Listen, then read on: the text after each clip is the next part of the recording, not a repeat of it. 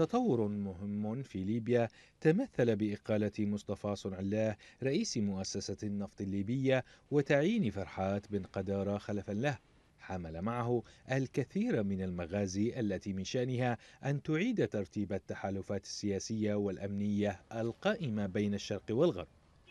مؤسسة النفط في ليبيا من أعرق المؤسسات وعلينا أن ندعم جميعا عودتها لدورها الحيوي في إدارة أهم مورد وطني الذي من المهم أن يكون بعيدا عن التسييس فهي مؤسسة فنية بحثة ينظم عملها القانون. إحدى مؤشرات بداية تغير هذه التحالفات إنهاء الجهات التابعة لخليفة حفتر إغلاق الحقول والموانئ النفطية بمجرد تعيين بن قدارة رئيسا لمؤسسة النفط. رغم أن مطلبها الرئيس كان تسليم رئيس حكومة الوحدة عبد الحميد الدبيبة السلطة لفتحي بشاغة رئيس الحكومة المعينة من مجلس النواب في طبرق اليوم النفط فتح الحقول بدأ التصدير وهذا وهذا شيء إيجابي ورحبت به كل الدول.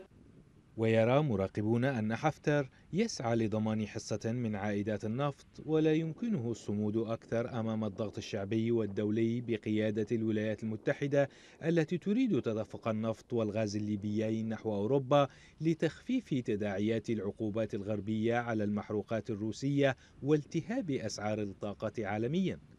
بالمقابل فإن الدبيبة يدرك أن عدم حل أزمة الكهرباء سريعا أو على الأقل التقليل من ساعات انقطاعه من شأنه أن يطيح بحكومته شعبيا. حتى الآن لم يتجاوز توافق الدبيبة وحفتر مسألة النفط ولم يتم التوافق بعد بشأن اعتراف الأخير بحكومة الوحدة وسحب البساط من تحت حكومة باشاغا